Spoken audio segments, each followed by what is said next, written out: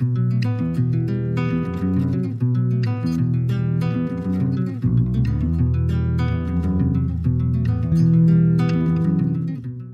Nous sommes très heureux, une fois encore, que vous soyez venus aussi nombreux pour euh, écouter Michel Onfray, euh, que nous recevons aujourd'hui à l'occasion de la parution de deux livres, Le Miroir aux Alouettes, Principe d'athéisme social aux éditions Plomb, et euh, Penser l'islam aux éditions Grasset, les deux ayant paru quasiment, quasiment en même temps. Alors, Michel Onfray, vous étiez venu la, la dernière fois pour Cosmos. Euh, ce premier volume ce qui devait être une trilogie, euh, qui sera peut-être un peu plus. Euh, et on vous avait, on avait échangé à, ce moment-là, et Cosmos semblait présenter, de mon point de vue, une forme d'apaisement, avec relative, euh, avec, euh, avec, on va dire, un, discours global, synthétique, et avec, c'était l'objet vraiment de Cosmos, tout un, discours, entre autres, dans le rapport euh, à la nature et le rapport donc au, cosmos. Avec le, miroir aux alouettes, qui va occuper la plus grande partie de cet entretien, euh, on perçoit euh, effectivement euh, quelque chose qui est plus de l'ordre d'une forme de, colère. On, essaiera au fur et à mesure de l'entretien de voir de quoi il retourne. on va dire colère face à un état du monde médiatique et politique dont le moins qu'on puisse dire c'est qu'il ne vous satisfait pas. Et, colère d'un corollaire, si l'on peut dire, du traitement dont vous êtes l'objet par ce monde précisément. Même si nous l'évoquerons euh, à la fin du livre, euh, la fin du livre a une tonalité propre avec, on va dire, la double évocation euh, du colibri, on reviendra un peu en détail par rapport à ça, et de Proudhon, où on vous trouve dans une autre forme justement par rapport à la question politique. Le livre a, de mon point de vue, un peu deux visages. Évidemment, euh, vos lecteurs, euh, les, gens présents ici, savent que la question politique est constamment présente dans vos livres, de façon euh, explicite ou implicite. Explicite, on vous avait reçu ici, entre autres, pour le, post-anarchisme expliqué à ma grand-mère, dont on retrouve des traits dans, ce livre-là, et, et, dans vos actes, surtout, puisque, comme vous le rappelez très opportunément à la fin du miroir, l'Université populaire de Caen est une création, une réaction de votre part au 21 avril 2002. Et ça, je pense que c'est extrêmement important, puisqu'évidemment, cette articulation des livres, de la pensée et des actes est une fois encore au cœur de la logique existentielle qui parcourt l'ensemble à la fois de votre travail, mais aussi du point de vue par lequel vous jugez, vous établissez, si l'on peut dire, la, valeur de la pensée et des actes, euh, que ce soit des, penseurs ou des, politiques. Celui euh, qui a des idées, euh, et on peut imaginer que quiconque fait de la politique a des idées, enfin on peut l'espérer, euh, doit vivre selon, euh, selon ses idées. enfin, dans l'introduction du miroir aux alouettes, vous le présentez comme, dites-vous, un genre d'autobiographie politique. Donc il vient s'articuler dans ce livre la question de votre rapport à la politique et la question de la façon dont vous percevez vous le monde politique. J'aurais voulu commencer par la façon même dont s'ouvre le livre, euh, c'est-à-dire à la fois euh, ce versant euh, autobiographique qui s'ouvre sur une mémoire, comme souvent d'ailleurs vos livres, une remémoration des figures qui ont fait votre, votre éducation politique, éducation on va voir si c'est ça ou pas, mais éducation qui fait, selon vous, vous êtes un homme de gauche. Donc je voudrais qu'on articule les deux, c'est-à-dire brièvement rappeler la, façon dont se produit cette éducation, et vous partez quand même, le livre part de ce présupposé qui est vous êtes de gauche. Et, je pense que c'est comme, tout présupposé un, point à, éclairer. Oui, merci cher Pierre pour vos, belles questions attentive et puis merci aussi à vous d'être là. Et, de fait, euh, c'est un, un livre qu'on m'a demandé et c'est Olivier Poivre d'Arvor qui, euh, via Muriel Bayer, qui est mon éditrice ici euh, chez Plomb, m'a demandé de faire le point politique parce qu'il y avait un brouillage certain puisque des journaux comme Libération euh, disaient que je faisais le jeu du Front National, le, Monde, deux jours après, euh, en rajoutait avec une grande photo en disant ces intellectuels revendiqués par le Front National. Enfin voilà, j'étais un homme qui défendait le Front National tout simplement parce que je disais que 25 euh, ans, un quart de siècle de libéralisme, avait généré ce que nous avions euh, sous les yeux, c'est-à-dire euh, justement un Front National qui fait la loi en politique, et puis un terrorisme dans, nos rues. Je dis voilà, toutes ces choses-là ont été générées par, par, par, une, politique qui n'est pas la mienne.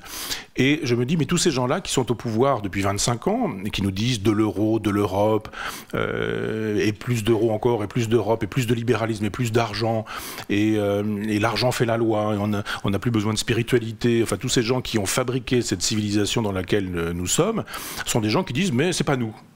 Et on aurait des méchants, et les méchants, ce seraient les musulmans, et puis ce serait Marine Le Pen.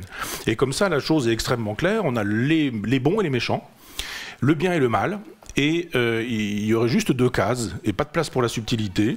Auquel cas, si on dit mais c'est un petit peu plus compliqué que ça, c'est-à-dire qu'on fait son travail de philosophe, alors à ce moment-là, on, passe pour un islamophobe, et puis on passe pour un islamophile, et puis on passe pour un compagnon de route de, Daesh, ça a quand même été mon cas. Euh, on passe après ça pour un type de droite, puis d'extrême droite, puis un antisémite, puis euh, un sioniste, enfin j'ai eu droit à tout. Et de fait, quand Olivier Poivre d'Arvor me, sollicite, il a d'abord envie qu'on fasse un, livre d'entretien, et il me dit, parce que votre image est brouillée, euh, sur le terrain politique, ce serait quand même bien qu'on puisse faire cet entretien. Il se fait que ça n'a pas pris la forme d'un entretien, mais que ça reste tout de même un livre, et effectivement, tous les livres qui comptent pour moi ont des préfaces autobiographiques euh, un livre dans lequel je dis voilà d'où viennent, viennent mes idées. Et, euh, et aujourd'hui, comme il y a le bien et le mal, eh bien, il y aurait aussi la droite et la gauche, et puis il y aurait dans la gauche une gauche libérale une gauche antilibérale, et puis euh, il n'y a rien d'autre. Donc aujourd'hui, si on est de gauche, il faudrait soit dire que Hollande est l'horizon indépassable, de l'histoire de France, soit estimer que si c'est pas lui, c'est Mélenchon ou, c'est le front de gauche. Et je dis mais non, ni l'un ni l'autre. Moi, je suis pas euh, euh, de cette gauche-là, et il y a plein de gens qui ne sont pas forcément de cette gauche-là, parce qu'il y a une autre gauche, voire d'autres gauches. Et la gauche dont je me réclame, elle est libertaire, c'est-à-dire qu'elle renvoie à la tradition anarchiste, mais pas n'importe quelle tradition anarchiste. Je, n'aime pas la violence, je ne supporte pas la violence, je ne supporte pas l'intolérance, je suis pour le débat, pour euh, euh, le fait qu'on puisse euh, s'entendre, faire progresser tout un chacun avec, avec du dialogue. Et je suis contre la Révolution française de 1793 quand elle fonctionne avec la guillotine, mais je suis pour la Révolution de 1789 quand elle, quand elle prononce la Déclaration des droits de l'homme. Et je dis, la gauche qui m'a été enseignée, elle l'a été par mon coiffeur, le coiffeur de mon village, Pierre Billot, qui est désormais un vieux monsieur alité et, pas très en forme, mais qui lui a été résistant, a été euh, arrêté par la Gestapo, a été torturé dans, mon village, notre village, et euh, a été déporté à Neuengamme, et revenu de Neuengamme, et un jour, alors que j'allais régulièrement chez lui parce qu'on y trouvait Charlie Hebdo, la, gueule ouverte, le, Nouvel Observateur, euh, la presse, puisqu'il était coiffeur et il y avait des journaux, et, qu'on pouvait discuter avec lui, et je balayais les cheveux, et j'allais régulièrement chez lui pour, pour parler. Puis un jour, il me dit Assieds-toi, je voudrais te raconter quelque chose. Je me suis assis, et il m'a raconté sa déportation, la vie au camp de Neuengamme. Tous dans cette salle, nous avons appris un jour ce qu'était la déportation par quelqu'un qui nous l'a dit. Je, m'en suis ouvert à mon éditeur, qui, était, qui, est l'un de mes éditeurs, qui, est juif, et à qui j'ai dit, mais peut-être il faudrait faire un livre un jour sur la façon dont on a appris euh, ces choses-là. Et lui me dit, mais je vois pas du tout. Jusqu'à ce que je comprenne que dans une famille juive, on, ne découvre jamais parce qu'on sait depuis toujours. Parce que le grand-père est parti, la grand-mère, etc. Enfin, il y a eu toutes ces choses-là. Je dis, mais c'est quand même un moment extrêmement important ce totalitarisme-là. Et il y avait un autre totalitarisme euh, auquel je m'opposais, qui était le totalitarisme soviétique. C'est-à-dire, je n'ai jamais été communiste, pro-communiste, marxiste, pro-marxiste. Je n'ai jamais défendu euh, ni l'Union soviétique, ni Trotsky, ni Mao, euh, ni toute cette tendance-là. Et, pour autant, j'estimais qu'on pouvait être d'une autre gauche, qui était la gauche libertaire, une gauche tolérante. Et puis il y avait aussi en plus de, Pierre, euh, un, autre, euh, un autre personnage important qui était Émile Legris et qui était un instituteur. Et qui était justement un personnage qui avait toujours table ouverte.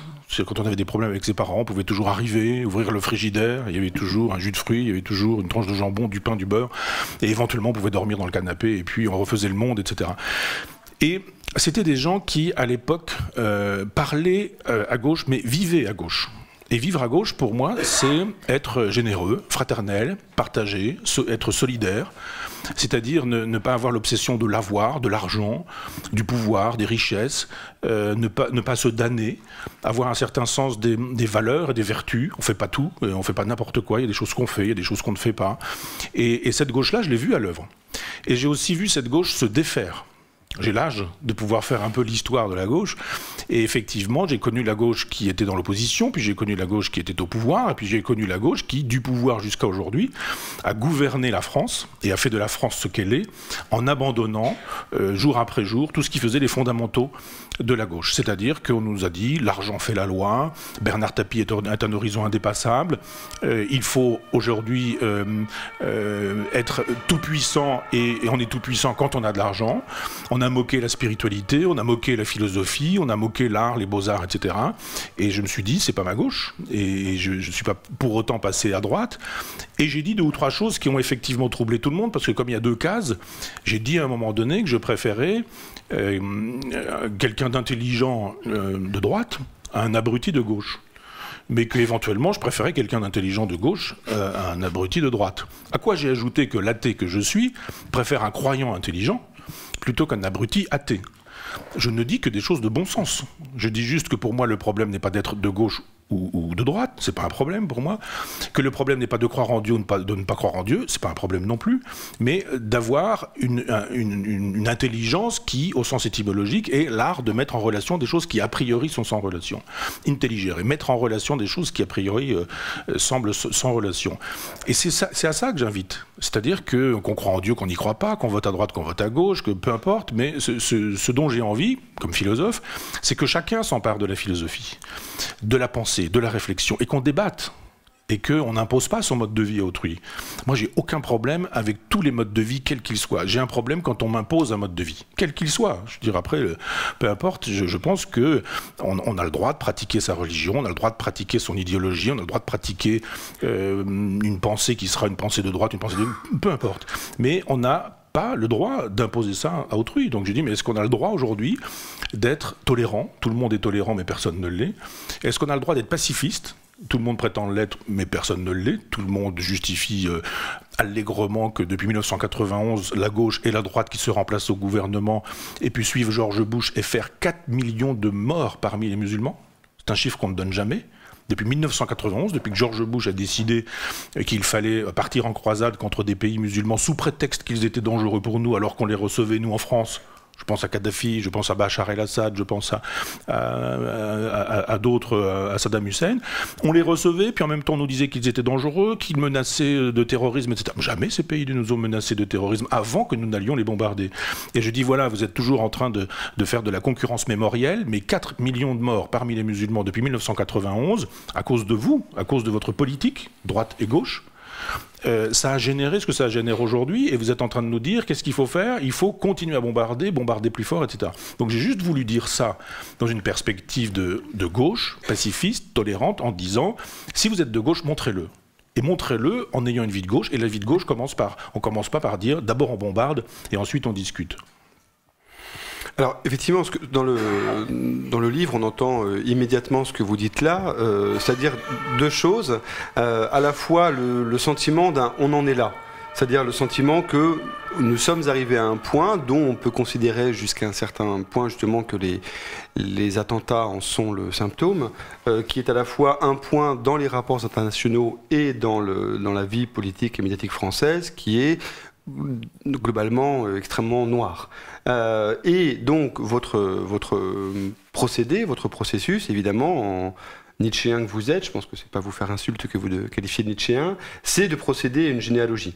C'est-à-dire de dire les choses n'arrivent pas parce qu'elles arrivent, elles arrivent parce qu'elles viennent de quelque part, et, il faut procéder euh, à cette généalogie. Alors justement, pour, pour articuler les, les deux, est-ce que le risque justement dans la généalogie que vous faites, qui consiste grosso modo, je pense que vous y reviendrez, à dire que le, moment euh, crucial, c'est 1983, c'est-à-dire euh, l'abandon par, euh, par Mitterrand et le Parti socialiste de, ce que pourrait être une politique purement de gauche, après les deux années de, législation de, gauche, la conversion à, l'argent et au libéralisme, et et, à partir de là, on est dans une sorte de dérédiction ou, selon le point de vue où on se place, d'optimisation libérale. Et d'abandon complet du peuple, etc. Est-ce que, en, raisonnant comme ça, vous n'essentialisez pas non plus au sens où Certes, c'est-à-dire qu'il y, a, un effet dominant qui est cette question du libéralisme, mais euh, c'est un moment, on peut, ne peut pas absolument, enfin on peut imaginer qu'on peut, euh, que c'est pas absolument un moment dans lequel l'ensemble des droits ne font que reculer. On peut aussi considérer qu'il y a la, la mandature Jospin de, de, 97 à 2002 qui a un peu une autre couleur euh, pour partie. voilà, est-ce que, vous pouvez à la fois faire le, tracé de ce que vous considérez comme étant la généalogie de cet abandon de la gauche, euh, qui est fondamentalement deux choses pour vous, hein, qui est la conversion au libéralisme, qui vient produire ou s'appuyer sur l'abandon du peuple. Parce que pour vous, évidemment, tout ça ne va pas sans une question absolument passionnante, euh, qui est euh, la question du peuple. On y viendra après avec les questions médiatiques, parce que je pense que par rapport à ce que vous dites, il y a des choses extrêmement intéressantes sur euh, à quel moment le peuple est manipulé, à quel moment, etc. Mais la question de la gauche, elle est quand même une question individuelle de la façon dont on vit, et quand on est homme politique, la façon dont on se représente les gens qui nous ont élus. Oui, il y a deux dates. Hein. Il y a 1983 qui est le renoncement de la gauche à être de gauche et la conversion à, la rigueur et, au libéralisme parce que Mitterrand, qui n'avait de souci que de lui-même, euh, a considéré que s'il voulait laisser une trace dans l'histoire, il ne la laisserait pas dans l'histoire du socialisme, mais qu'il la laisserait dans, l'histoire de la construction européenne. Et à ce moment-là, on s'est mis à nous dire que l'euro ferait euh, la loi partout et qu'on aurait la fin des guerres, la disparition de la misère, la disparition de la souffrance, on aurait euh, le plein emploi, plus de chômage, plus, plus de ce genre de choses. Donc le mal allait disparaître et le bien allait surgir d'un seul coup, et que quiconque était contre l'Europe libérale euh, était contre l'Europe tout court, donc était pour la nation, donc était pour la guerre, etc. Et la deuxième date, qui est importante, parce que pour le coup c'est le renoncement de la gauche à être de gauche sur le terrain euh, français, sur le territoire intérieur, 83, et 91, le renoncement de la gauche à être de gauche sur le terrain international. Le général de Gaulle avait une politique pro-arabe, et nous avons renoncé à cette politique pro-arabe, qui n'était pas forcément pour autant anti-israélienne ou anti-sioniste, mais il y avait une politique euh, pro-arabe, et d'un seul coup, on, change d'avis pour aller derrière George Bush en expliquant qu'il euh, y avait des menaces, que, etc. Enfin, on connaît l'histoire, du moins euh, d'aucuns s'en souviennent, et qu'il fallait désormais aller faire la loi chez Saddam Hussein en, s'engageant dans des guerres internationales. Je dis simplement que quand tout le monde a écouté les informations d'hier et découvert que le patron de Peugeot gagne 15 000 euros par jour, samedi, dimanche compris, alors que euh, les ouvriers ont été augmentés de 8 euros par mois. Euh, on ne peut pas faire sans cette information-là. Et, d'un seul coup, les gens disent, euh, si ces gens-là, par exemple, qui sont ouvriers, euh, qui crèvent la faim, qui n'ont pas d'argent, qui ne peuvent pas payer les études de leurs enfants, qui doivent éventuellement rembourser les prêts engagés pour que leurs enfants puissent faire des études, euh, si ces individus-là disent, mais enfin, bon, ça va pas, nous, on va voter pour Marine Le Pen, d'un seul coup, ils sont fascistes. D'un seul coup, ils sont nazis. Et je dis, effectivement, si on fait son travail de philosophe, on fait un travail de généalogiste, et on se dit, mais pourquoi des gamins sont-ils avec des mitraillettes dans la rue pour tirer sur des gens qui sont en terrasse? Pourquoi? Le problème n'est pas de savoir si ce sont des barbares, si ce sont des salauds. Si... C'est pas mon propos. Moi, je suis pas un moralisateur. Je fais un travail de philosophe en disant pourquoi? Pourquoi ça a lieu?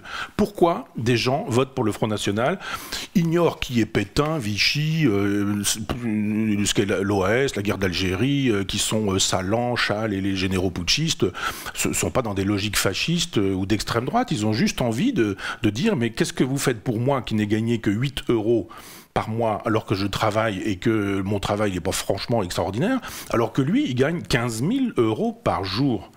Qu'est-ce que vous allez faire pour moi? On dit aux ouvriers, on ne peut pas vous augmenter parce qu'il n'y a pas d'argent. Il y a encore quelques, années, deux ou trois ans, on nous disait la dette. La dette interdit qu'on puisse faire une seule dépense. Fillon dit même à un moment donné, euh, la France est en faillite. D'accord, dont acte la gauche arrive au pouvoir et dit ah finalement on savait pas qu'il y avait aussi peu d'argent. Hein. Finalement c'est toute la droite, hein. c'est comme ça toujours. Elle nous laisse des, caisses vides. Ah là là là là. Nous on est coupable de rien, responsable de rien. Il n'y a pas d'argent, il y a une dette, on peut rien faire. D'accord. Mais quand il s'agit d'aller massacrer des Afghans qui nous ont rien fait, des Libyens qui ne nous ont rien fait, des Irakiens qui ne nous ont rien fait, des Maliens qui ne nous ont rien fait, alors là il y a de l'argent. Il y a de l'argent. On a trouvé l'argent, on trouve l'argent tous les jours pour aller bombarder des populations civiles. On ne fait pas la guerre à des méchants, on fait la guerre à des peuples dans lesquels il y a probablement des méchants, mais dans lesquels il y a une population civile. On ne peut pas imaginer d'un côté qu'on puisse humilier des travailleurs, des ouvriers, et je ne parle pas de ceux qui sont au chômage, je ne parle pas de ceux qui sont au RSA, je ne parle pas de ceux à qui on a supprimé toute dignité, en disant on va vous traiter comme ça, mais en même temps, n'ayez pas le culot ou l'audace de dire que vous êtes malheureux. Parce que voter Marine Le Pen, c'est souvent dire qu'il euh, y a un truc qui ne va pas. On ne peut pas non plus euh, bombarder des peuples, euh, attenter à, à à la communauté, sur la planète entière et estimer qu'il n'y ait pas des gens qui vont dire bah, nous, on va aussi faire la réponse du berger à la bergère et on va se comporter comme ça. Alors je dis pas c'est bien, je dis pas c'est mal, je dis pas il faudrait pas voter Front National, il faudrait voter, il faudrait bombarder. Enfin, encore que, je pense qu'il faut pas bombarder, hein, mais il n'aurait pas fallu et qu'il ne faudrait toujours pas et que si on voulait avoir une solution, on pourrait déjà commencer par euh, proposer un cessez-le-feu, et puis arrêter, et puis estimer que l'État islamique, ça s'appelle un État islamique. On nous dit qu'il faut appeler ça Daesh, ils que ça, ils veulent pas qu'on appelle ça État islamique, euh, c'est un État, il est islamique, ça s'appelle un État islamique. Il y a un calife. Euh, on, peut faire, on, peut envisager une autre politique, une autre solution, autre chose. Je ne sais pas, quand on est président de la République, on doit avoir des projets de géostratégie, de géopolitique, une vision pour l'histoire et estimer qu'on ne peut pas maltraiter sa population de manière intérieure et maltraiter toute une autre population sur la planète entière en estimant qu'en plus de ça, il faudrait que les gens qu'on maltraite puissent nous dire merci et, ne pas bouger. Donc oui, je fais un travail de généalogiste et, quand on entend le Premier ministre nous dire que euh, essayer d'expliquer c'est déjà, euh, déjà pardonné, je dis mais on n'est pas dans la morale. Moi je parle pas en termes de morale, je dis pas c'est pas bien, il faudrait pas, ils sont méchants ou je sais pas quoi. Je dis mais on est dans la question de la généalogie d'une part et puis après dans la question du est-ce que ça ne serait pas mieux que les gens recouvrent leur dignité Et est-ce que ça ne serait pas mieux que les peuples recouvrent leur liberté leur autonomie, leur indépendance? Alors c'est difficile hein, quand on est allé massacrer la Libye euh, de dire aujourd'hui allez on vous laisse etc. Maintenant débrouillez-vous, euh, le, mal est fait, mais il faudrait une espèce de grand plan, éventuellement européen, mais un grand plan national qui soit susceptible de dire on arrête les dégâts on arrête, on ne peut pas massacrer le peuple français, les ouvriers, les gamins que je vois passer à euh, mon bureau est, au cinquième étage. Et je vois passer des gamins avec des mobilettes qui livrent des pizzas jusqu'à minuit. Je me dis, mais ils payent leurs études en livrant des pizzas, et qu'est-ce qu'on fait quand on est à minuit en mobilette euh, sous le ciel normand, dans le crachin, dans le froid, et le lendemain matin, à 8 heures, on est censé euh, suivre ses cours. Et éventuellement, quand on n'est pas à l'université, on a, on a été obligé d'emprunter 20 000, 30 000 euros pour euh, s'endetter juste pour avoir un diplôme qui ne nous permettra pas forcément d'avoir du travail. Est-ce qu'on doit tolérer ça encore? Donc il y a juste un moment donné où le, le travail du généalogiste consiste à dire moi je vous fais une proposition, dites-moi que j'ai tort montrez-moi que j'ai tort, expliquez-moi en me disant non, non, ça n'a rien à voir, parce que ceci, parce que cela. Je regarde simplement et je me dis, c'est drôle, quand on prend une carte des endroits où ça explose en Europe, ça explose dans les pays qui sont explicitement impliqués dans les passages à tabac depuis 1991. Et il se passe rien en Islande, il se passe rien en Irlande, il se passe rien au Portugal, il se passe rien euh, Brésil, Chili, Paraguay, Uruguay, etc. en Amérique du Sud. Rien, rien. Pourquoi? Pourquoi? Je, pose juste la question. Après, qu'on me montre que j'ai tort, qu'on m'explique que c'est pas vrai, etc. Vous prenez une carte, et j'en ai encore vu une ce matin en lisant le journal, euh, en lisant le Figaro à l'hôtel où j'étais, une carte de la France, de la misère et de la souffrance française. On prend une carte du vote Front National, puis on prend une carte également euh, des, lieux, supposés, des lieux de, terrorisme. Ça coïncide. Alors je dis juste, euh, les, géographes nous font des propositions, les statisticiens nous font des propositions. Est-ce qu'on a le droit de commenter ces cartes? Ou est-ce que déjà faire trois cartes en disant regardez, pauvreté, terrorisme et vote du Front National ont à voir, puisque finalement c'est une même misère qui génère tout ça. Alors dire ça pour Libération, dire ça pour Le Monde, dire ça pour Le Nouvel Observateur, dire ça pour France Inter, c'est faire le jeu du Front National. Eh bien, euh, c'est leur affaire, mais moi je, ne cesserai pas de faire le travail qui normalement incombe aux philosophes. Alors, dans le, ce, que, vous dites là, euh, d'une certaine façon, vous le dites de deux façons, si je puis me permettre, dans le, dans le livre, euh, qui est à la fois ce, constat que vous faites et en même temps qui, tel que vous le faites là, semble ouvrir vers l'hypothèse qu'on peut réfléchir à d'autres solutions, une autre forme de politique. On verra euh, à la fin avec, euh, avec l'évocation de, de, Proudhon et de l'oxymore de, de l'État anarchiste. mais il me semble, moi, que le, livre a aussi une autre tonalité, euh, on va dire, beaucoup plus négative, beaucoup plus pessimiste. Euh, comme disait Topor, le, pessimiste, c'est un, optimiste qui n'est pas au courant. Enfin, c'est l'inverse plutôt. Euh, et du coup, ce que je veux dire à partir de là, c'est que L'état, entre autres de la question médiatique, et c'est là où je voulais en venir, euh, fait que selon vous, jusqu'à un certain point, quelle est l'autonomie qui est laissée à la possibilité de penser euh, de la part du peuple? Parce qu'en fait, y a, par rapport à la question du peuple, euh, outre que comme toute chose, il faut éviter de, l'essentialiser. Euh, il y, a deux choses. Il y a ce qu'elle subit comme souffrance, ce que vous venez d'évoquer, et euh, la question du fait que effectivement elle vote, et de comment elle vote, et de effectivement comment est-ce qu'on fait pour penser cette question-là sans dire euh, c'est des pauvres, donc c'est des abrutis, donc ils votent mal, etc. Qui effectivement la façon à grands coups de moraline dont est, dont est fait les choses actuellement. Mais en même temps, donc vous excluez cette hypothèse-là, mais dans le livre, on voit bien que dans la façon dont vous décrivez ce qui est, euh, de votre point de vue, quasiment une forme d'oppression médiatique euh, de deux façons, c'est-à-dire à la fois, euh, d'un côté, le libéralisme est une vérité absolue et intangible, et de l'autre, le divertissement à tout craint, le plus abrutissant, le plus idiot, le plus inepte possible, de façon à ce que surtout, surtout, quelque chose comme une pensée ne, surgisse pas. Donc, comment est-ce que, de, votre point de vue, justement, on peut sortir de, ce système-là et faire en sorte que euh, cette question, euh, qu'il y ait un espoir, si l'on veut. Et, je trouve que dans votre discours, on sent qu'il y a une tension quand même entre les deux, c'est-à-dire entre un état de fait où vous avez une vision très négative et manifestement vous ne renoncez pas complètement, et le travail de l'université populaire en est aussi la preuve, hein, euh, au fait que oui, on peut continuer à faire un travail d'éducation et de pédagogie philosophique. Oui, je crois à l'éducation populaire. Parce que je pense que le peuple est, sublime quand on le rend sublime. Mmh. Quand je dis on, c'est-à-dire euh, les gens qui, ont euh, tâche d'éduquer le peuple. Je parle souvent de mon père qui était ouvrier agricole, mais je veux dire mon père a quitté l'école à 12 ou 13 ans et il connaissait des vers de Victor Hugo, il connaissait euh, des, des, vers de Racine, il connaissait des vers de La Fontaine, il connaissait l'histoire, il savait lire, écrire correctement et penser faisait jamais de paralogisme ou d'erreur de, raisonnement, etc. Parce que une école, euh, l'école républicaine de l'époque, apprenait à lire, à écrire, à compter, à penser. Euh, à partir du moment où on a estimé que l'éducation nationale n'était plus instruction publique mais qu'elle devenait éducation nationale, on a commencé à trouver plus important d'idéologiser les gens. C'est-à-dire que moi, je vois des gamins aujourd'hui, euh, enfin des, qui ont 14 ou 15 ans, ils me sortent des trucs sur, sur l'islam, sur l'écologie, sur l'Europe, sur l'euro, etc. C'est la bouillie qu'on leur met dans la tête depuis des années. Ils disent, ouais, moi je pense de manière autonome. mon œil. Euh, je dis simplement que, et ça aussi j'ai raconté l'histoire, que quand j'étais gamin, mes parents se sont fait offrir une télévision par les voisins parce qu'ils n'avaient pas d'argent pour acheter une télévision, mais les voisins avaient changé de télévision, on a allumé la télévision, et quand on a allumé cette télévision, dans les années 60, euh, je suis né en 59, hein, donc euh, il y avait les Perses d'Echille à la télévision, à 20h30. L'autre jour, j'ai vu, j'aime la Révolution française et je travaille sur la disparition du réel dans le cinéma. Et donc, le cinéma comme machine à faire disparaître le réel. Et je voulais voir ça avec la Révolution française. Et j'ai vu deux téléfilms de Stelio Lorenzi. Euh, un qui s'appelle La fuite de Varennes et l'autre qui s'appelle La vertu et la terreur et qui raconte l'histoire de Robespierre euh, au, comité de salut public. Et il se fait que j'ai regardé ça stupéfait, tellement c'était magnifique d'intelligence, de respect du peuple. Euh, d'éducation populaire parce que justement, il y avait euh, des séries, c'était montré à la télévision à 20h30. C'était du noir et blanc, les caméras étaient extrêmement lourdes, donc effectivement, les décors sont simples. Le dialogue est magnifique. Le jeu est magnifique parce que ce sont des gens qui viennent du TNP de Villars. Ce sont des gens qui sont des, des acteurs de théâtre. C'est-à-dire des gens qui servent le texte et pas des comédiens de cinéma, c'est-à-dire des gens qui se servent du texte.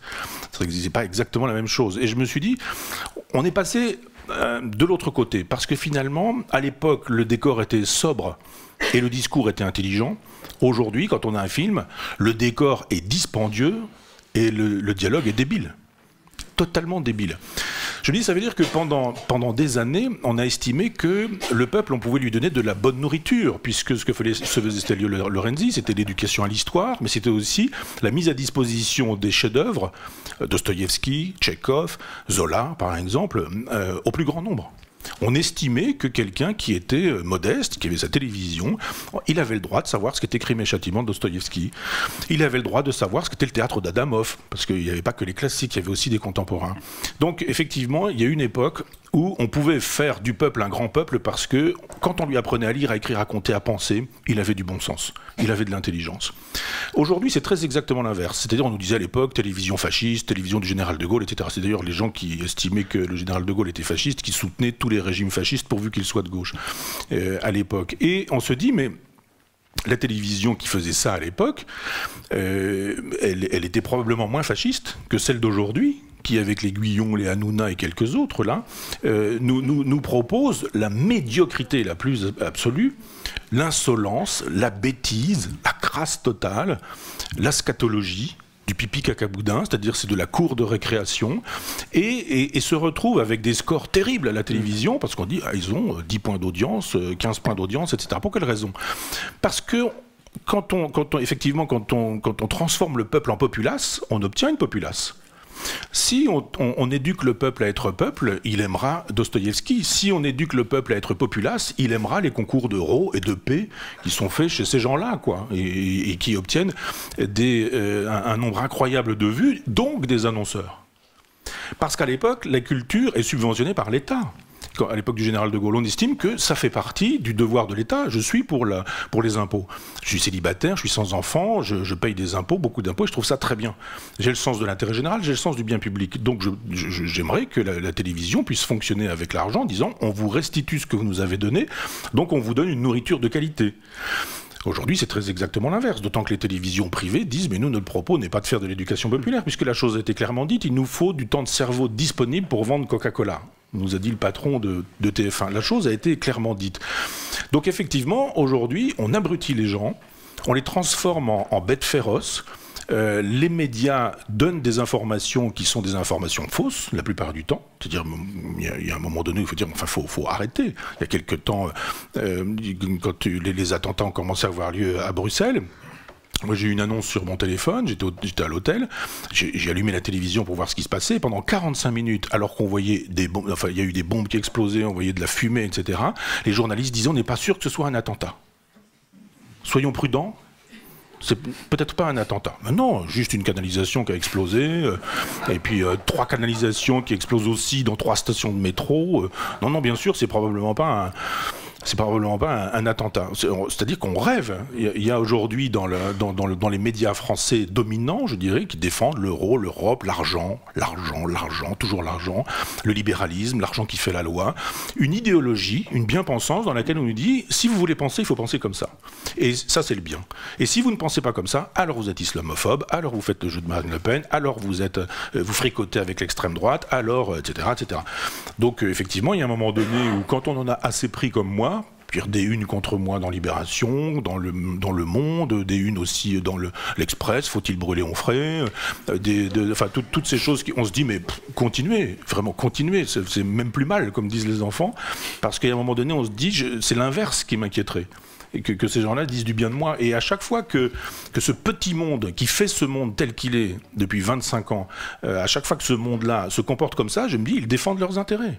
Ils n'en ont rien à faire des, euh, des, des, des, zones de non-droit, des zones de disparition de la République, des zones de disparition de la dignité des gens, euh, du fait que plein de gens sont, sont interdits de dignité aujourd'hui, des parents qui ne sont pas dignes parce qu'ils ne travaillent pas, parce qu'ils cherchent du boulot, parce qu'ils passent leur temps devant la télévision et puis ils ne trouveront jamais de boulot et que leurs enfants les voient se comporter comme ça. Enfin, cette espèce d'absence de dignité, elle a toujours généré des réflexes terribles dans l'histoire si on faisait une histoire de l'humiliation des peuples, on verrait toujours que c'est à la racine des dictatures ou des totalitarismes qui adviennent. Et on, peut considérer, euh, d'ailleurs vous, le, faites, au titre de vos généalogies, que euh, cet abandon de dignité, enfin plutôt ce refus de dignité, euh, il vient s'articuler lui aussi sur un autre refus qui est la question de la souveraineté. Euh, question de la souveraineté, euh, puisqu'en fait, vous faites toute une, partie sur la souveraineté en essayant de montrer, de, rendre intelligible comment ce concept, qui est un concept absolument essentiel, entre autres dans la création de l'Europe moderne au sens 16e, 17e, pas, pas contemporaine, euh, un mot décisif dans la philosophie politique, a été, euh, on va dire, au cours des 20 dernières années, euh, finalement transformé peu à peu en insulte, sous la forme, entre autres, du souverainisme. Mais on peut considérer que la généalogie que vous faites à l'échelle politique, c'est-à-dire la souveraineté des États, est vraie aussi pour l'individu. C'est-à-dire que euh, ce, qui est, euh, ce à quoi on demande de renoncer, c'est aussi une souveraineté de l'individu, la souveraineté étant euh, probablement beaucoup plus que la sécurité, la première des libertés, au sens où être souverain, c'est la possibilité pour soi et de penser librement et d'agir librement dans une société qui est une société de contrat. Est-ce que justement, sur cette question, vous pouvez revenir sur cette question de, de la souveraineté, puisqu'on voit bien que pour vous, et c'est là où s'articule, je pense, assez bien dans le livre, on va dire les deux niveaux, c'est-à-dire c'est-à-dire la, lecture vraiment en tant que philosophe, vous revenez souvent dans le livre, dans celui-là et dans le livre sur l'islam, sur l'idée que votre position, c'est une position de philosophe, ce n'est pas une position de journaliste. C'est-à-dire que c'est ce qui induit un rapport au réel, un rapport au temps qui est complètement différent, et peut-être qu'on aura le temps d'y venir, mais je pense que c'est important, un rapport à l'émotion et à l'obligation d'être ému un peu différent de celui qu'on pense devoir imposer. Euh, et dans ce chapitre sur la souveraineté, vous articulez ces deux choses-là, c'est-à-dire la critique euh, du, du, monde politique et médiatique contemporain au prisme d'une notion philosophique décisive qui est celle de la souveraineté. Oui, je me dis, mais comment se fait-il qu'aujourd'hui souverainiste soit devenu une insulte? C'est-à-dire qu'un souverain, c'est quelqu'un qui est maître chez soi. Et, comment peut-on vouloir ne pas être maître chez soi? Euh, Je suis pour la souveraineté parce que je pense qu'en France, les Français doivent être souverains. Et je pense qu'en Libye, les Libyens doivent être souverains. Et en Irak, les Irakiens doivent être souverains. Et que euh, la souveraineté, c'est la possibilité pour chacun de décider de son destin, de son histoire, du trajet de son peuple. Enfin, je, je défends cette idée-là. Mais c'est pas étonnant que ceux qui ne sont pas pour la souveraineté française en France ne soient pas pour la souveraineté des Libyens en Libye et estiment que euh, les Libyens ne savent pas ce qui est bon pour eux et qu'on va leur faire savoir et qu'on leur fait savoir la plupart du temps avec des avions, des bombes et des massacres de populations civiles. je dis mais qu'est-ce qui s'est passé pour que nous ayons transformé les, les vices en vertus et que euh, la souveraineté soit devenue une insulte alors qu'on préfère l'inverse qui est la soumission on veut la soumission. Et euh, effectivement, je remonte au contrat social en disant, euh, c'est une vieille histoire, le contrat social, c'est Épicure qui, invente le contrat social. Hein. Puis après, un certain nombre d'individus, puis après euh, Hobbes, puis après Rousseau, mais ça arrive tardivement chez Rousseau. Tout le monde pense que c'est le contrat social, 1762 chez Rousseau. Pas, pas exactement, il y a une pensée qui précède tout ça. Et le contrat, c'est extrêmement simple. On, on, renonce à quelque chose pour obtenir quelque chose. Hobbes nous dit, les hommes, naturellement, ont peur les uns des autres parce que les forts peuvent avoir raison des faibles, et puis les faibles peuvent se liguer et avoir raison des forts, et en fait tout le monde a peur de tout le monde, donc euh, personne n'est en sécurité. Dès lors, pour obtenir la sécurité, il faut que chacun renonce à son pouvoir de nuire, et en conséquence, on va constituer avec un contrat social une société qui, via l'État, va permettre à tout le monde de vivre en paix. Donc euh, on renonce au pouvoir de nuire et on obtient le, euh, le pouvoir de, vivre en paix. À quoi Hobbes ajoute? Sur moi, quand j'ai lu ça, j'avais 17-18 ans, et euh, je, l'ai fait sous la, sous la houlette de, de Madame Goyard, qui était ma directrice, qui, qui, deviendrait plus tard ma directrice de thèse, et elle me faisait bien lire, elle nous apprenait vraiment bien à lire. D'abord, euh, éviter l'idéologie en disant euh, Hobbes c'est un philosophe totalitaire, etc. Elle dit mais lisez tout, et quand vous aurez tout lu, si une phrase interdit de dire qu'il est un penseur totalitaire, eh bien il n'est pas un penseur totalitaire. Et il y a une phrase dans le Léviathan qui fait la théorie de ces choses-là, et, qui est une phrase extrêmement intéressante parce que justement ça fait le contraire du totalitarisme. Et Hobbes dit donc vous renoncez au pouvoir de nuire, l'État euh, vous garantit de la paix et la sécurité, mais si le contrat n'est pas honoré, alors vous pouvez recouvrer votre état d'avant.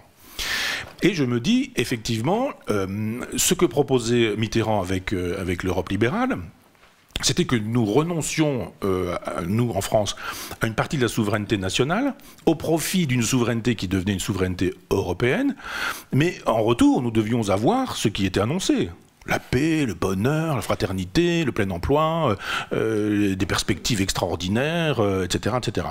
On dit très bien, ça fait 25 ans qu'on a renoncé, et ça fait 25 ans que ce que vous nous aviez promis, d'abord on ne l'a pas eu, mais on a eu exactement l'inverse.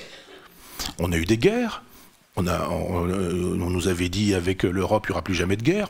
Bah, il s'est passé quoi à Sarajevo? Il s'est passé quoi au Kosovo? Il s'est passé quoi avec euh, tous ces peuples-là? Après, il s'est passé quoi à chaque fois que l'Europe est, euh, est intervenue sur d'autres, chantiers euh, internationaux? Donc on se dit, non, on n'a pas du tout obtenu ce, que, qui nous avait été proposé. Donc je dis, mais c'est exactement la même chose quand on pense les rapports avec les autres pays de la planète. Je suis contre le droit d'ingérence. Euh, il est aujourd'hui politiquement correct d'être pour le droit d'ingérence en disant mais regardez-moi ça, les droits de l'homme ne sont pas respectés chez Kadhafi, donc on va aller leur faire respecter les droits de l'homme, on zigouille Kadhafi, puis après toc, d'un seul coup, euh, la démocratie va advenir, elle va surgir avec BHL en grand penseur de cette idée-là. Et donc, euh, ça a lieu, Sarkozy, on y va, on massacre le peuple libyen, on massacre si peu le dictateur qu'on est obligé de l'égorger à la fin en disant bon on l'a trouvé, il est vivant, on en fait quoi? Et on dit bah butez-le, terminé, parce que sinon il va parler, on va expliquer qu'il a financé des campagnes présidentielles, c'est pas forcément utile qu'il puisse parler, parce que ses ennemis étaient quand même les amis des puissants qui nous gouvernent. C'était la même chose avec Saddam Hussein qui lui euh, finançait d'autres campagnes d'un président que tout le monde aime beaucoup aujourd'hui. Ça tombe bien, il est aphasique, il ne peut plus répondre. Mais euh, je, trouve que cette idée que nous allons là-bas parce qu'il faut instaurer les droits de l'homme est une idée fausse.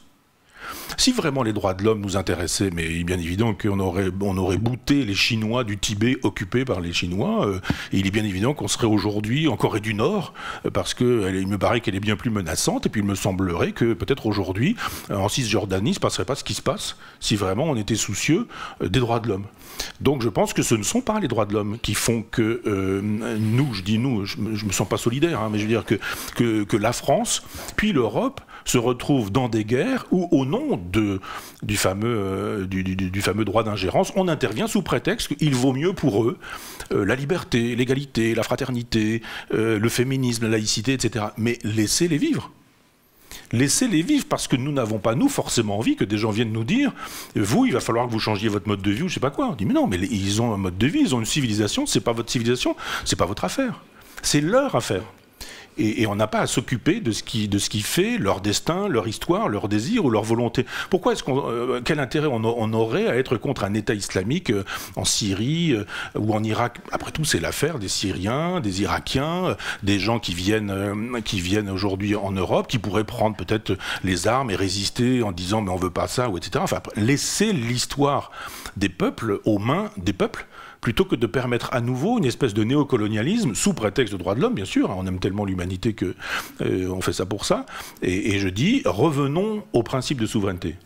Nous n'avons plus aujourd'hui en France la possibilité de décider de quoi que ce soit. On va bientôt avoir des présidentielles. Un président de la République, il ne peut pratiquement plus rien décider. Il peut même pas décider de la TVA des restaurants sans demander l'autorisation à Bruxelles. Et on lui dit Ah non, on n'avait pas le droit, la, la, la, TVA du, des, des, restaurants, c'est pas vous, monsieur le président, ça ne relève pas de votre, de votre pouvoir. On se dit Mais si on n'a plus le pouvoir de ça, tous les paysans aujourd'hui, moi que j'ai connus quand j'étais adolescent et qui vendaient leurs produits sur le marché, interdit. Il faut aujourd'hui que vous ayez un truc, euh, un camion réfrigérant, il faut que vous ayez des conditions d'hygiène qui fassent la démonstration que vous avez vu. C'est plus possible. J'ai un copain dentiste, il m'a dit Moi j'étais obligé de vendre mon matériel parce qu'on m'a dit Mais il n'y a pas de norme européenne et c'est exactement le même. On m'a vendu le même mais il a fallu que je m'endette. On a mis un truc dessus, norme européenne, etc. C'est-à-dire on a une bureaucratie qui nous dit ce qu'il faut faire, comment il faut consommer, comment il faut manger, etc. Ce qu'il faut manger, comment il faut se comporter, ce qu'il faut penser, bien sûr. Et, aujourd'hui, plus personne ou très peu euh, ne, dit Mais attendez, euh, est-ce qu'on a le droit encore de vouloir décider par nous-mêmes ou pour nous-mêmes? Voilà pourquoi les gens qui nous gouvernent n'aiment pas le peuple. Quand, euh, quand euh, en 2005, euh, le peuple dit on ne veut pas de l'Europe libérale, qu'est-ce qu'on fait quand on est président de la République? On dit dont acte.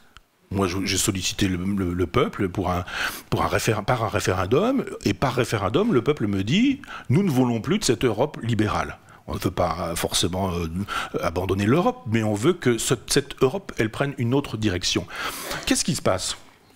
Sarkozy et Hollande, Sarkozy président de la République à l'époque, s'entendent comme cochons, convoquent tous les deux le Congrès, il était plus malin avec le Congrès à l'époque Hollande hein, qu'aujourd'hui. Mais euh, et d'un seul coup, Sénat plus Assemblée nationale, on dit bon allez, euh, au fait, vous êtes pour ou vous êtes contre l'Europe? Mais oui, oui, oui, on est pour l'Europe. C'est-à-dire le peuple a dit non, mais euh, l'espèce d'oligarchie qui prétend représenter le peuple, mais qui ne le représente pas. Euh, dit, mais si on va lui faire quand même passer ce truc, et il va y avoir quand même, euh, il va l'avoir. Et je le dis dans ce, dans, ce livre, parce que j'ai retrouvé un texte de Giscard d'Estaing. qui le dit lui-même que c'est la même chose. Parce qu'on m'a dit, mais non, c'est pas la même chose, le texte que le... Pardon que le Congrès a fait voter n'était pas du tout. Giscard lui-même, grand défenseur de l'euro, de l'Europe, du marché libéral, etc., etc., dit euh, ben non, c'est exactement le même truc. On a enlevé un, paragraphe, on l'a remis au-dessus, on l'a remis en dessous, on a mis trois virgules, c'est exactement la même chose. Ben ça aussi, ça contribue au fait que les gens ne votent pas, au fait que les gens votent pour le Front National, pas tant par racisme, antisémitisme, xénophobie, je sais pas quoi, simplement parce qu'ils disent mais on en a marre, virez-les. Virez-les, ces gens qui nous demandent notre avis et qui, quand on a donné notre avis, disent on n'en a rien à faire de votre avis. Donc évidemment, ça me paraît tellement de bon sens que quand je le dis, il y a toute la presse qui, elle, défend ça. L'euro, l'Europe, le libéralisme, etc. qui dit Ah, regardez ce type qui fait le, jeu du Front National. Moi, je persiste à croire que la souveraineté pour soi-même, euh, pour sa famille, pour les gens qu'on aime, quand on aime quelqu'un, on, on ne l'asservit pas, on ne l'assujettit pas, on ne le domine pas. Dans un couple, il faut aussi que nous soyons souverains et que, que, que, l'un demande à l'autre, que l'autre demande à l'un, que on fait, on fasse pas des choses l'un sans l'autre ou l'un contre l'autre ou l'un malgré l'autre. Et puis après, euh, au-delà du couple, il y a la famille. Et bien dans la famille, ça devrait fonctionner de la même manière. Et puis après, dans la famille, vous avez le quartier, puis vous avez le village, la ville, vous avez etc. Jusqu'à jusqu'aux frontières d'une nation qui doit pouvoir dire mais recouvrons notre souveraineté, que nous ayons le droit de décider si on veut ceci ou si on veut pas cela. Ou alors on nous dit le peuple n'est pas souverain, euh, celui qui sera souverain, ce sera euh, le représentant du peuple.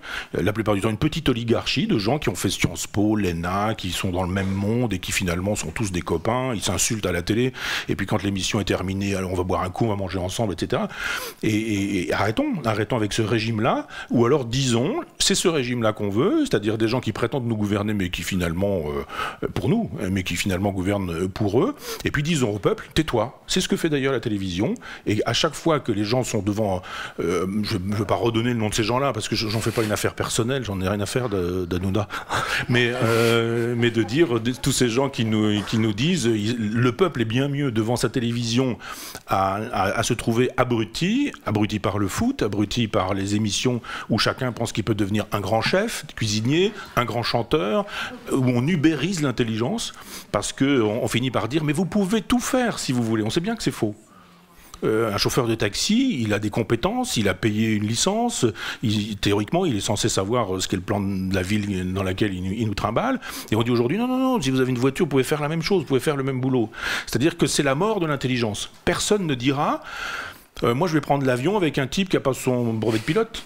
Moi, j'ai besoin de me déplacer, mais aujourd'hui, c'est 1 euro le déplacement, c'est pas cher du tout, mais le type, il sait pas piloter l'avion, mais ubérisons. Euh, non, euh, on va dire tiens, j'ai une appendicite, euh, il y a un type qui me prend demain là, l'appendicite, il m'opère, c'est pas cher, gratuit, il a un CAP de boucher charcutier, mais il va faire ça très bien. Les gens disent non, un peu de compétences ici, un chirurgien on veut qu'il soit compétent, un pilote d'Airbus on a envie qu'il soit compétent. Puis après on dit mais pourquoi être compétent? Et puis comme on a un président de la République qui n'a pas compétent, on se dit bah, après tout ubérisons. Non mais ubérisons la France. Et pourquoi pas lui? Et aujourd'hui, on voit que tous les jours, on a un nouveau candidat pour les, pour les présidentielles en disant j'y vais, mais pourquoi pas, puis moi aussi, puis etc.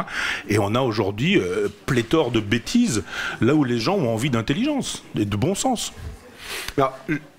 L'articulation euh, finale est extrêmement importante parce que euh, on, pourrait aussi considérer justement il y a un moment où il faut bien faire quelque chose, il faut bien ah, il faut bien voter. C'est d'ailleurs une question que vous posez. Est-ce qu'au final, il faut bien voter si c'est pour voter, euh, comme vous l'évoquez, parce que vous faites dans l'introduction l'histoire de votre pratique du vote en, décrivant quand même une longue désillusion progressive jusqu'à plus ou moins l'abandon du vote. Euh, mais en même temps, il faut bien, euh, on vit dans une société, il faut bien agir. Donc à partir de là, euh, vers quoi est-ce que nous nous orientons? C'est-à-dire que est-ce que c'est, on considère que malgré tout, le système politique est viable? Et c'est simplement le personnel qui fait défaut ou la structure du personnel qui fait défaut. Et donc il faut monter une forme de structure politique au sens, propre euh, qui permet de proposer quelque chose de, digne, de responsable, enfin selon les, les éléments que vous avez euh, utiliser Ou est-ce que, euh, au contraire, euh, parce que c'est aussi l'objet de, la fin du livre avec deux choses, qui est la question du, colibri, donc est la fameuse euh, parabole, on va dire, employée par Pierre Rabhi, qui est il faut que chacun prenne sa part dans la société, et, on peut, et vous considérez que votre part, vous la prenez entre autres avec l'université populaire. et Et en même temps, dans le descriptif que vous faites de la façon dont fonctionne l'université populaire, c'est assez, euh, c'est à la fois assez fort parce que c'est, je pense, dans le livre la partie la plus claire où vous expliquez comment quasiment tout le programme de l'université populaire a été conçu contre euh, ce que peut dire le Front National par rapport à la culture, par rapport aux femmes, par rapport au cinéma, par rapport à tout ce qu'on peut imaginer comme sujet dont traite le Front National. Et donc c'est à la fin du livre où vous euh, non pas éclaircissez, parce que je ne pense pas qu'il y ait besoin, mais vous, vous expliquez véritablement ce que c'est, non pas de faire le jeu du Front National, mais de prendre sa part pour lutter contre. Euh, et en même temps, dans cette description, il y a aussi une description assez, euh, moi je trouve assez, assez touchante euh, d'un certain nombre de désillusions dont vous avez été euh, l'objet par rapport à des individus, mais que vous prenez aussi un peu comme symptôme de dire que certes l'autonomie, certes l'autogestion, certes la souveraineté, certes le contrat, certes la confiance, mais on est aussi souvent déçu de ça. C'est-à-dire que et, le, ce, chapitre, moi, je trouve assez, euh, assez touchant par rapport à ça, au sens où il est euh, chargé de, l'énergie que vous déployez depuis donc 15 euh, ans par rapport à ça, et en même temps aussi d'un peu de, de, poids de dire bon, il y a un moment, c'est bien d'être aidé aussi, et de ne pas être tout seul à prendre sa part. Alors, je vais faire une, prédiction et je pense que, que l'histoire me donnera raison. Aux prochaines présidentielles, nous allons changer d'homme, mais nous ne changerons pas de politique. Et donc, euh, je ne pense pas me tromper, vraiment, hein, parce que euh, on voit comment ça fonctionne. On aura quoi? Hollande, Bayrou, euh, j'allais dire Chirac, Sarkozy, et puis Le Pen en face, quoi. Et, donc, Juppé, j'ai oublié. C'est probablement lui qui le sera d'ailleurs. Le, et donc, et bon, voilà.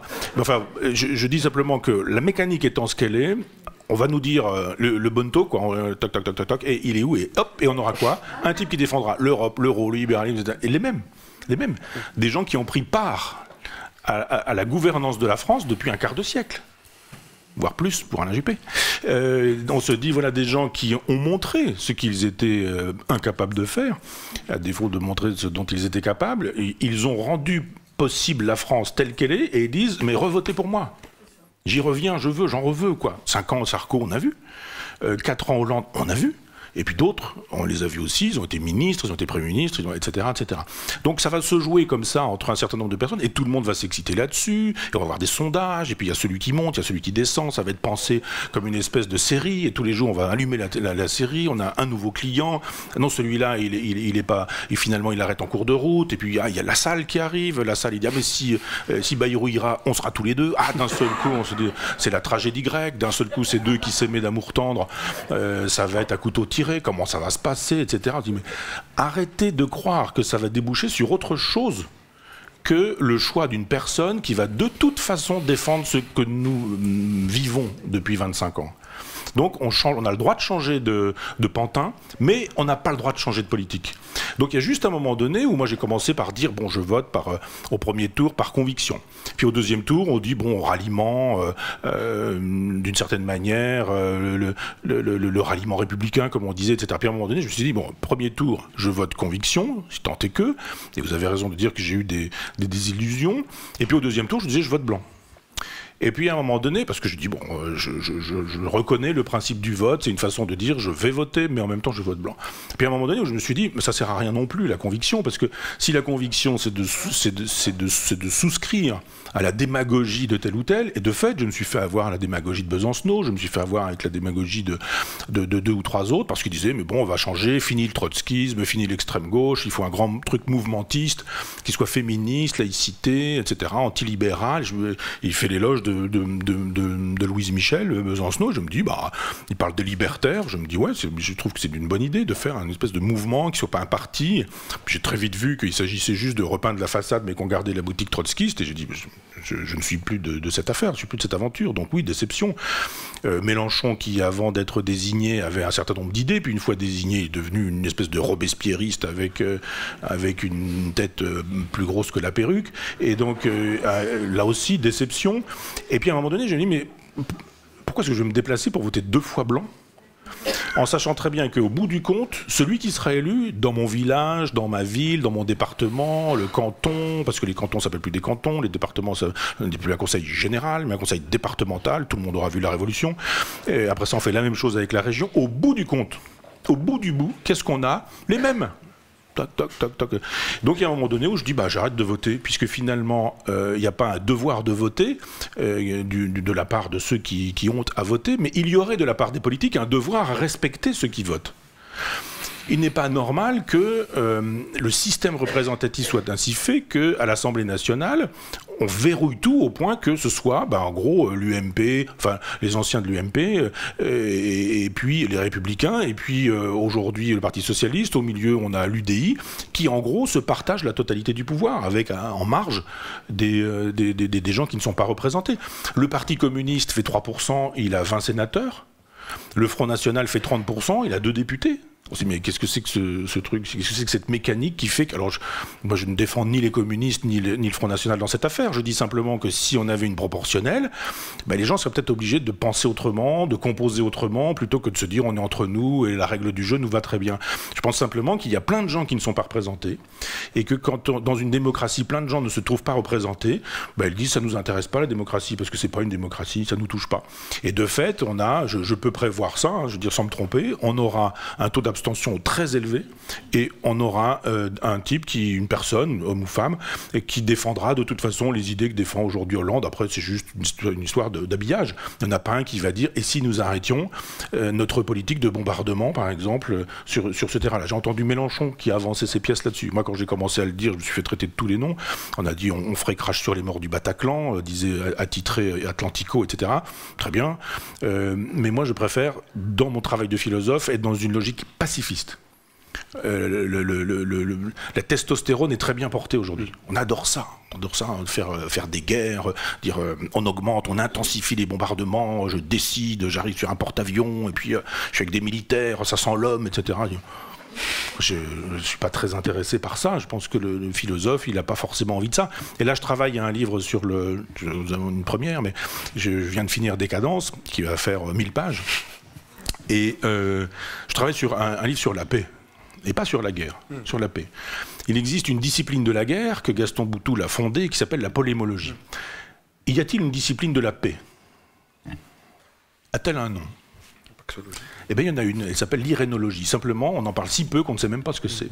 C'est-à-dire que les gens qui travaillent à la paix, en disant euh, euh, est-ce qu'on peut pas déjà commencer par se dire et si nous tâchions de fabriquer une communauté? Je déteste l'expression vivre ensemble, etc. Mais de fabriquer euh, une communauté, de fabriquer une république.